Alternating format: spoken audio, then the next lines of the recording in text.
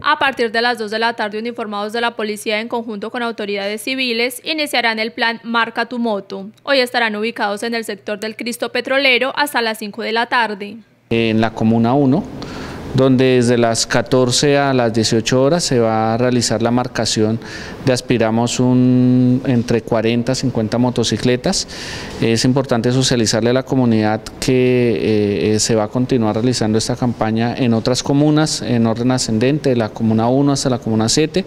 Posteriormente también el corregimiento del centro también se va a hacer una campaña y luego nuevamente iniciaremos eh, con el orden cíclico, arrancando nuevamente con la comuna 1. Quienes no hayan marcado su motocicleta tengan en cuenta los requisitos para poder hacerlo. Acercarse al lugar, em, tener paciencia porque la demanda de, eh, ha sido bastante en las anteriores campañas, llevar desde luego la documentación de la motocicleta, no se hacen revisiones de tipo de tránsito, sin embargo sí se hacen otro tipo de revisiones eh, que acrediten la, la propiedad del, de la misma y se procede a hacer la, marcación eh, aprovechando este, este elemento que facilitó la administración. La policía hace un llamado para que los propietarios de estos vehículos contribuyan a la reducción de hurtos de motocicletas o de autopartes, vinculándose a la campaña Marca tu moto. Eh, desde luego, eh, esta campaña es muy importante para complementar las medidas preventivas del hurto a motocicletas.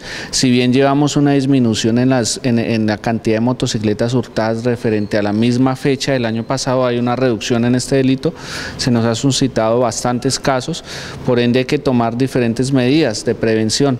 Vuelvo y hago el llamado para que los ciudadanos no dejen sus motocicletas de un día para otro en la calle, eh, mal ubicadas, toda vez que mediante la modalidad de alado también se han hurtado varias motocicletas.